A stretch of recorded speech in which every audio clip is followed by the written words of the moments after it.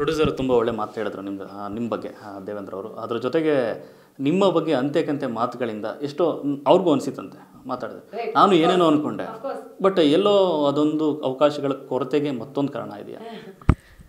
ಇಲ್ಲ. ನಾನು ಹೀಗೆ ಇರೋದು.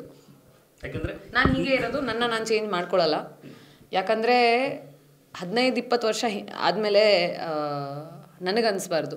ಅಯ್ಯೋ ನಾನು ಬೇರೆಯವ್ರಿಗೋಸ್ಕರ ಚೇಂಜ್ ಆಗಿಬಿಟ್ನಾ? ನಾನು ಬೇರೆಯವ್ರಿಗೋಸ್ಕರ ನನ್ನ ಲೈಫ್ ಲೀಡ್ ಮಾಡಿದ್ನಾ? ಇಂಥ ಕ್ವೆಶನ್ಸ್ ನಾನು ಕೇಳೋಕ್ಕೆ ಇಷ್ಟನೂ ಪಡಲ್ಲ ನಾನು ಯೋಚನೆನೂ ಮಾಡ್ತಾ ಇಲ್ಲ ಇಂಥ ಕ್ವೆಶನ್ಸ್ ಕೇಳಬೇಕು ಅಂತ. ನಾನು ಹೇಗಿದ್ದೀನೋ ನಾನು ನಾನು ಅಟ್ಲೀಸ್ಟ್ ನನ್ನ ದೇಸ್ ನೋ ಮಾಸ್ಕ್ ಕಲ್ಮಶ ಏನೂ ಇಲ್ಲ. ನಿಜ. What is whatever is there is there ನಾನು ಏನು ನಿಮ್ಗೆ ಇವತ್ತು ಚೆನ್ನಾಗಿ ಮಾತಾಡಿಸಿ ಎರಡು ವರ್ಷ ಆದಮೇಲೆ ತಿರುಗಿ ಏನೋ ಬೇರೆ ಏನೋ ಹೇಳಲ್ಲ. I have been very vocal very straightforward and I will be like this ನೀವು ಹೇಳೋ ತನಕ ಎಷ್ಟೋ ಜನ ಗೊತ್ತಿರಲಿಲ್ಲ. ಅಂದರೆ ನೀವು ಪಟ್ಟಿರುವಂಥ ಕಷ್ಟ ಚಿಕ್ಕ ಮನೆಯಲ್ಲಿ ಅಷ್ಟು ನಾಲ್ಕು ಜನ ಇದ್ದು.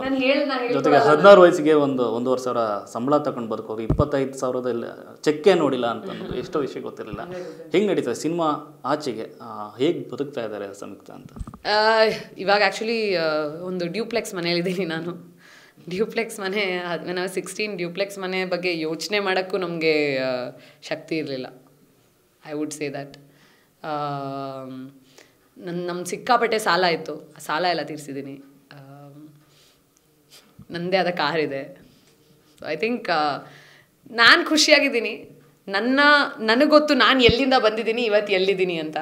ಸೊ ಪೀಪ್, ಜನರಿಗೆ ಅನ್ಸ್ಬೋದು, ಅಯ್ಯೋ ಅವ್ರು ಕೆಲಸ ಮಾಡ್ತಾ ಇಲ್ಲ, ಅವ್ರು ಬೆಳೀತಾ ಇಲ್ಲ ಅಂತ ಬಟ್ ನನಗೆ ಗೊತ್ತು personally internally I know that I have done well and ಇಂಡಸ್ಟ್ರಿಯಲ್ಲಿ ಎಲ್ಲ ಇಂಡಸ್ಟ್ರಿಯಲ್ಲೂ ನಾನು ಯಾರು ಅಂತ ಗೊತ್ತು which is a big deal ಅಂದರೆ ನಾನು ಎಷ್ಟೊಂದು ಇಂಡಸ್ಟ್ರಿಯಲ್ಲಿ ಕೆಲಸನೇ ಮಾಡಿಲ್ಲ. ಆ್ಯಂಡ್ ನಾನು ಎಷ್ಟೊಂದು ಕಡೆ ಬರೀ ಒಂದೇ ಫಿಲಮ್ ನಾನು ತೆಲುಗುವಲ್ಲಿ ಬರೀ ಒಂದೇ ಫಿಲಮ್ ಮಾಡಿದ್ದೀನಿ ಬಟ್ ತೆಲುಗುವಲ್ಲಿ ಎಷ್ಟೊಂದು ಜನಕ್ಕೆ ನನಗೆ ನಾನು ಯಾರು ಅಂತ ಗೊತ್ತು. ತಮಿಳಲ್ಲಿ ನನಗೆ ಯಾರು ಎಷ್ಟು, ಎಷ್ಟೊಂದು ಜನಕ್ಕೆ ನಾನು ಯಾರು ಅಂತ ಗೊತ್ತು. So I think that's a big deal ನೀವು you you might have done less work but because you are such a such an amazing personality that everybody knows about you ಇನ್ನು ಈ ಸಿನಿಮಾ ಬಗ್ಗೆ ಮಾತಾಡೋದಾದ್ರೆ ಆ ದಂಡುಪಾಳ್ಯದ ಮೊದಲೇ ಹೇಳಿದಾಗ ಗ್ಯಾಂಗ್ ಬಗ್ಗೆ ಬೇರೆ ಏನೇನು ಕಲ್ಪನೆಗಳಿತ್ತು. ಅದೆಲ್ಲ ಹೊಡೆದು ಬೀಸಾಕಿ ಬೇರೆ ಥರನೇ ಕತೆ ಸೃಷ್ಟಿ ಆಗ್ತಿದೆ ಈಗ.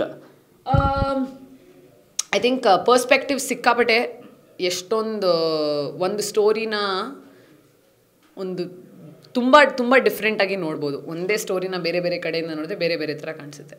ಇವಾಗ ಕಳ್ಳ ಸ್ಟೋರಿ ಹೇಳಿದ್ರೆ ಅವನು ಕಳ್ತನ ಮಾಡಿಲ್ಲ ಅಂತ ಅವ್ನು ಒಪ್ಕೊಳ್ಳೋಕೆ ರೆಡಿ ಇಲ್ಲ ಅಂದರೆ ಅವ್ನು ಯಾವಾಗಲೂ ಅವ್ನು ಹೀರೋ ಆಗೇ ಹೇಳೋದು ಆ ಸ್ಟೋರಿನ ಅದೇ ಥರ ನಾನೇ ಕೊಲೆ ಮಾಡಿದ್ದು, ನಾನು ಸಿಕ್ಕಾಕೋಬಾರ್ದು ಅಂತ ಹೇಳಿದರೆ ಲೈಕ್ ಆಬ್ವಿಯಸ್ಲಿ ನಾನು ಬೇರೆಯವ್ರು ಯಾರ್ದಾರು ತಲೆ ಮೇಲೆ ಕಟ್ಟಿ, ಅಷ್ಟು ಪವರ್ ಇರಬೇಕು ಫಸ್ಟ್ ಆಫ್ ಆಲ್ ಬೇರೆಯವ್ರ ತಲೆ ಮೇಲೆ ಕಟ್ಟೋದಕ್ಕೆ. ಸೊ ಅಫ್ಕೋರ್ಸ್ ನೀವು ಅರವತ್ತೆಪ್ಪತ್ತು ಕೊಲೆ ಎಲ್ಲ ಒಂದು it is not it doesn't make sense like ನೀವು somebody who so innocent somebody innocent ಅಂದರೆ ಪವರ್ಲೆಸ್ ಪೀಪಲ್ ಒಂದು ಲೈಫ್ ತಗೊಳ್ಳೋದು ಇಸ್ ನಾಟ್ ಈಸಿ ಆ್ಯಂಡ್ ಇಷ್ಟು ಜನರು ಲೈಫ್ ತೊಗೊಂಡು ಆದರೂ ಆಚೆ ಕಡೆ ಓಡಾಡ್ತಾ ಇದ್ದಾರೆ ಅಂದರೆ, ಓ. ಸೊ ಅಂಥವ್ರನ್ನ ಅಂಥವ್ರನ್ನ ಈಸಿ ಅಲ್ವಾ ಫಿಟ್ ಮಾಡೋದು?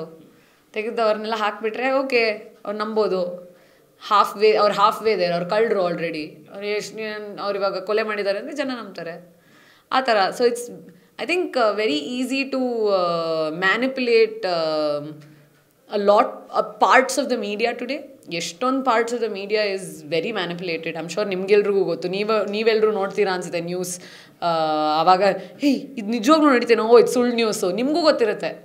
But for somebody who's watching at home ಅವ್ರಿಗೆ ಯಾರು, ಅವ್ರು ಯಾರು ಸೋರ್ಸ್ ಏನು ಚೆಕ್ ಮಾಡೋದಕ್ಕೆ ಅವರಿಗೆ? ಏನೂ ಇಲ್ಲ. So they will believe whatever is marketed well will sell